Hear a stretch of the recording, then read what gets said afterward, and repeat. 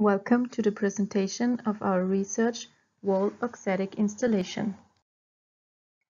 Auxetic structures create a new field of possibilities for material transformations, especially at a time when the construction industry needs to comply with the requirements for environmental friendly technologies, new design concepts are of great value. The field of auxetic structures offers opportunities to create new spatial solutions. The attempt of the research is to create the transition from a structure that has been researched in theory to a construction that can be built and used in practice.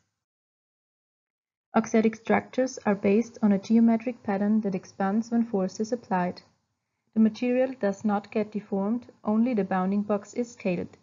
Generally, materials have positive Poisson ratio, that is, stretching is expected to make a material thinner and compressing results in bulge. Auxetic materials exhibit the very unusual property of becoming wider when stretched and narrower when compressed. That is, they possess negative Poisson ratio.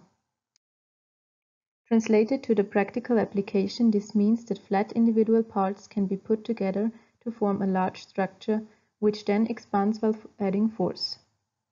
This effect enables the transition from a flat orthogonal shape to a three-dimensional shape of any design. In contrast to previous research, we put the focus on two shell constructions, which on the one hand enables the shape to be steered in a desired direction without having to apply great forces, and on the other hand offers the possibility of using the space between the two shells. The concept of creating any three-dimensional shape from its planary orthogonal construction can be cited as an essential design idea.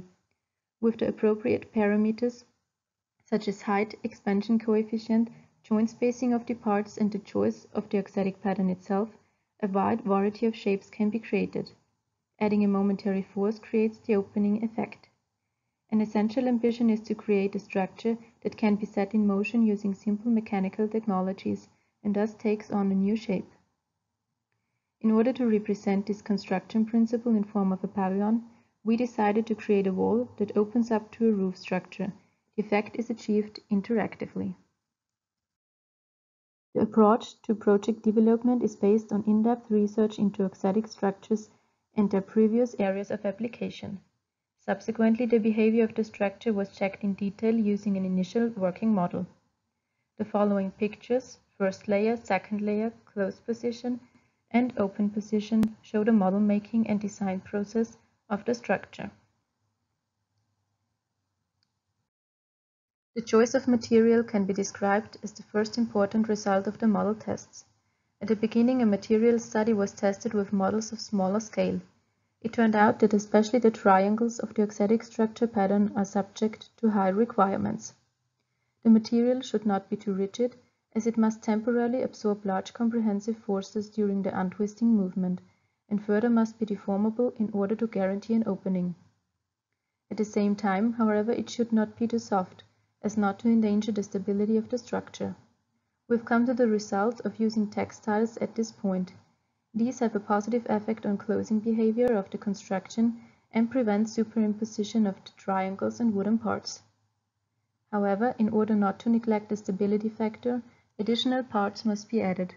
For this purpose, we focus on gas pressure springs, which also force the structure into its open position. The Y-shaped flat parts of the auxetic structure are made of plywood. The Y parts of the first shell are centered in front of the smaller Y parts of the second shell, in order to ensure an opening in a certain direction. The two layers have different pattern. This joining of two not identical auxetics to a coherent construction can be named as an essential innovation to previous research in this area. The construction is deformed in a certain direction simply through the parameters of the respective shell more precisely the dimensions of the individual parts and the pressure pulse of the first row of gas springs. The plywood parts of both shells are connected with balks made of the same material. This happens via a simple wood connection without glue or additional fixing with screws or the like. A cable pull is used to bring the auxetic structure into its closed position. The ropes are routed through the structure and have connection points to the stable Y parts of the balks at certain intervals. In summary, auxetic structures offer new possibilities for form finding. The system of creating three-dimensional shapes from flat panes saves space and is therefore a lucrative solution for transport. Whether the operation, the opening and closing of the structure, is done manually, electrically, or pneumatically depends entirely on the area of application and their desired effect.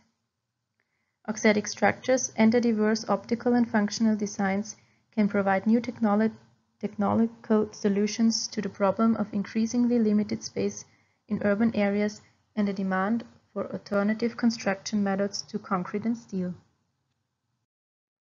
We want to thank our sponsors and supporters Raphael Ruch, Proholz Steiermark, ROCO, Graz University of Technology and the Faculty of Architecture. In the following clips, we want to show you the final pavilion in open and closed position.